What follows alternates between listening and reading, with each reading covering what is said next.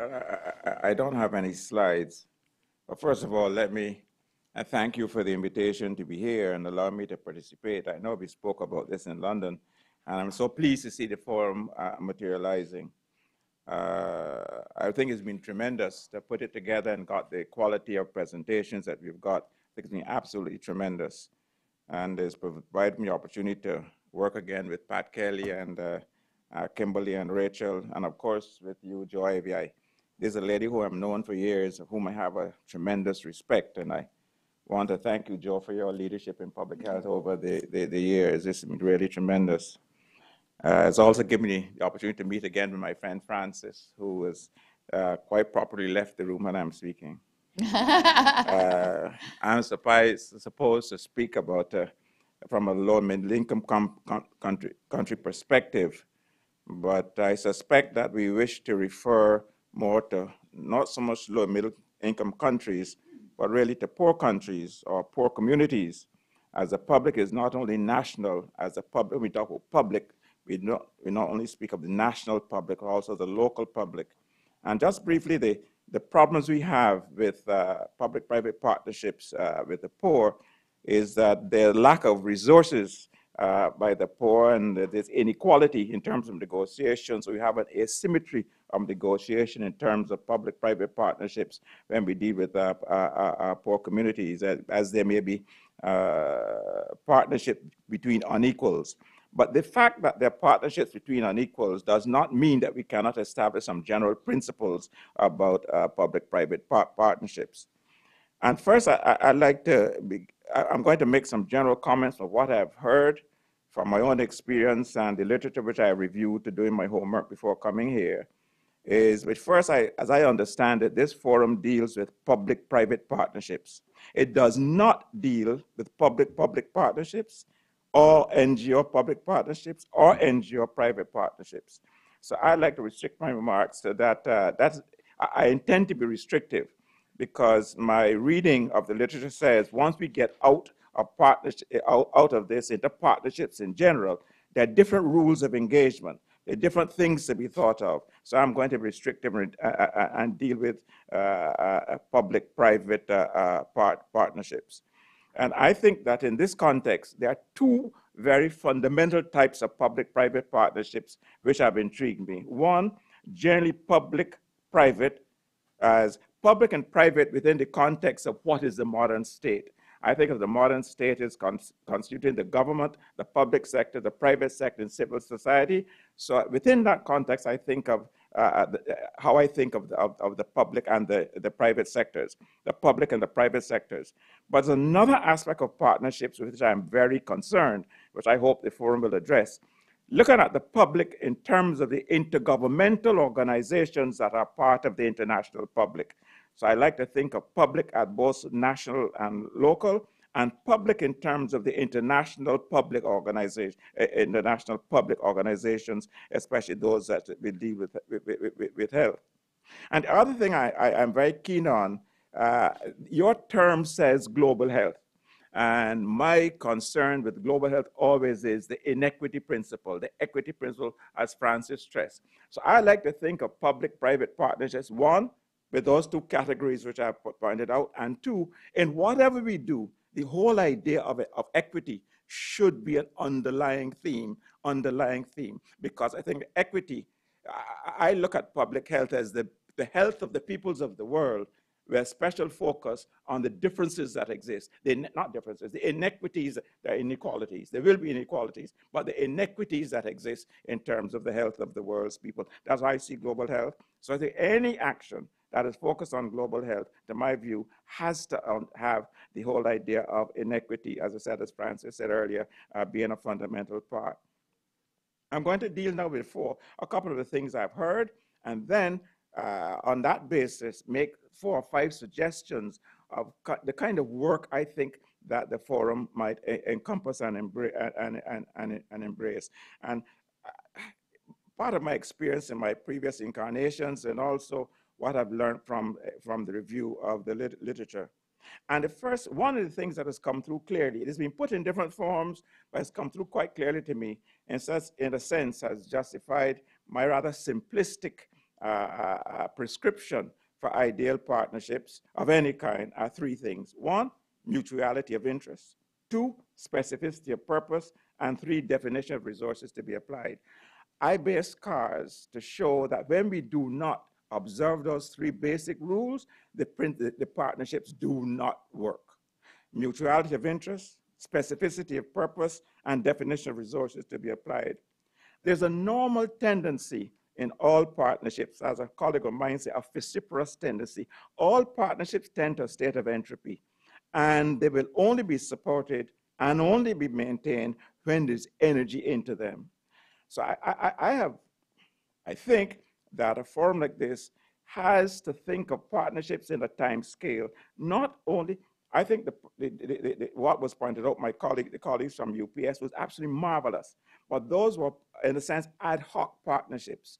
And if you're thinking of partners for global health, we have to think not only of the ad hoc partnerships, but partnerships of long duration. So with the emphasis being on partnerships of longer duration, given the nature of the health problems, uh, global health problems, we have to think predominantly of partnerships of longer duration and not only the short-term partnerships that deal with the things like epidemics. A lot of, we heard a lot about that today, some brilliant discussions on, on, on, on, on uh, epidemics. So these partnerships will need some energy to keep them together they all tend to a state of entropy unless it is energy to keep them together, and we'll talk about where that energy might come from in a minute. The other thing that I heard of, heard today, is the, the mutuality of interest does not necessarily mean exclusivity uh, uh, uh, of interest. And while it is possible and fair to say that the interest of the public is defined almost by definition. That's tautology. It's, uh, it's defined almost in terms of uh, where it fits in the, in the context of the state. The, it is the public interest. So the public sector has the public interest uh, uh, uh, uh, up front. And the private sector, in my view, the interest is a, a, generic interest. The private sector has different interests, but one the underlying interest is to provide goods and services at a profit. So I'm only speaking about the for-profit uh, private sector, not the non-for-profit private sector, the for-profit private sector, provide goods and services at a profit. And while the private sector may need uh, some specific public needs or wants, and uh, I think as Jack pointed out, we have to be very careful to separate the two, and we have to find mechanisms for, de for determining what are the community needs and, and, and wants. Uh, also, the part of the interest of the private sector uh, to strengthen their brand. But the thing that uh, comes home very clearly to me, and was said here many occasions, the partnership with the private sector must be based on the, the private sector's particular business case. You're not going to have an effective private sector partnership that goes outside of the essential business case of the sector of the sector involved. And people have said, again from the literature, that you can look at shared value as corporate social responsibility plus benefits. And we have to remember that benefits are not only financial benefits, but there may be non-financial benefits. And it was said, said uh, during the discussion that you can find companies benefiting in terms of the morale of their uh, uh, employees, etc. Um, I think many of us have heard President Jimmy Carter talk about getting uh, DuPont to make the nylon film for addressing guinea worm and going to speak to the nylon employees and seeing big men weep when he spoke to them about, uh, and women weep when he spoke to them of the good they had done providing this filament. And one of the things I heard him point out is that the absenteeism was much, much less on the days that the company made that particular filament. So these are one of the benefits, non-financial benefits that a company uh, uh, derives. And while the, the persons who define shared value, uh, I always say that there has to be an economic value proposition if the shared, if the, it is going to be shared value. Some people say that it may be a value proposition, it's not necessarily economic for there to be a, a, a, a shared value. However, I think there always has to be a correlation between the partnership's objectives and the normal mission and work of the business. That is how the private sector uh, uh, works best. And most of the discussions on private, uh, uh, public-private partnerships, I have found that uh, in essence, I can divide them into, into, into two, really. A, uh, focusing on a specific prop, product to develop a vaccine, a, specific technology, I would say, to develop a vaccine, to develop a drug, to, to, to build a highway, a, a specific technology usually. And the other one is a specific kinds, a specific service, a technology or a service. And in many parts of the world, the provision of services has become almost the major area in which private, public-private partnerships uh, uh, uh, operate. Uh, if you look through the, the, the, developing world, there's a greater and greater reliance of the private sector uh, to provide some of the services that once upon a time the public sector provided. And uh, a good example of that is Sania Nishtar's book, Choked Pipes, describing in Pakistan this kind of uh, uh, relationship. And in there, uh, we, they point out that relationships now in that, in that ag agreement between the public-private partnership, that relationship can morph into what we call a principal type relationship in which the private sector is hired by the, the, the, the, the, public sector and we all know the constraints of the principal type relationship in which one tends to uh, uh, uh value uh, uh, wealth creation and the other tends to value public value, public, public, public value. at one extreme, maybe this principal type relationship, at the other extreme, maybe this stewardship type relationship. And we like to think, we like to think that in most public-private partnerships that last for a long time, there's a tendency more to the stewardship type relationship in which there's compatibility, almost identity and shared, uh, uh, shared uh, uh values and shared interests, and is not one valuing uh, uh, one set of one set of, of, of, of results more, more, more, more, more than the other. Now, in terms of the public of uh, inter, intergovernmental organizations in terms of the of the yeah. Uh, we have a problem because many of the international organizations now are having great difficulty in relating to the non-state actors. And I think this is one of the great blows for freedom this forum could strike. How do you have an adult discussion about the role of the private sector in relation to these intergovernmental organizations is a topic that no one wants to touch it. And I think that this is an area in which the uh, forum could strike, a, I said, a great blow for freedom. And now briefly, uh, I'm going to set out five things I think from what I've heard and what I've read might, see, might form part of the, the, the, the, the platform of the forum's uh, uh, uh work. One, I think it would be very useful from the beginning to have some basic uh, understanding of the uh, taxonomy about the public-private partnership, some basic document which sets out some of the history of it, the evolution of PPPs, the current situation of PPPs, the challenges of PPPs, the, the, the uh, PPPs in terms of their duration. I think there needs to be some uh, solid body uh, of research into producing something of that nature. The second one is, I, I repeat myself, more attention to the public in terms of intergovernmental organization. That is a major gap that is not being filled by anyone, not being filled by anyone. I would encourage the forum to think about this.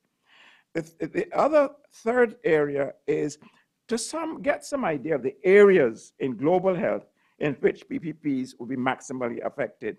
One, in terms of diseases, and I would urge that the forum look at the a balance in terms of diseases, in terms of diseases and technologies as one group, and other in terms of systems uh, uh, uh, as, as another group, where we can uh, look, look, break this further. In terms of the balance, I go back to the discussion about the, the, the health security and would insist, as I said before, that this attention, the hysteria created that guides public health is something that we have to uh, watch again. after the plague, which described 25% of the US population, famous uh, French mathematician Poincare said, the plague was nothing. It was fear of the plague that was the problem. Uh, the, the, th- the fourth area I would urge, I would suggest that might be a, a useful area for discussion, exploration, is the distribution of PPPs.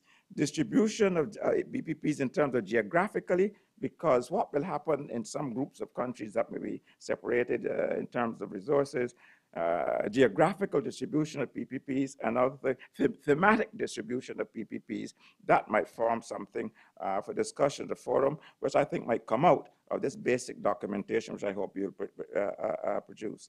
And the last point I would, uh, would say as a, a, a suggestion for consideration is evaluation of PPPs. In the literature, there's very little evaluation of PPPs. I saw an evaluation of, uh, uh, of PPPs in Europe, which they look at the possibility of uh, public-private partnerships for health systems, health services, and they came to the conclusion that they were useless. Uh, the evaluation of the, uh, a very detailed evaluation in Europe came to the conclusion that the public-private partnerships did little more to enhance health outcomes than did the public, uh, the, the public sector uh, discharging its pristine role. Thank you. Thank you Great, thanks so much, George. Ambassador Lang, would you like to go next?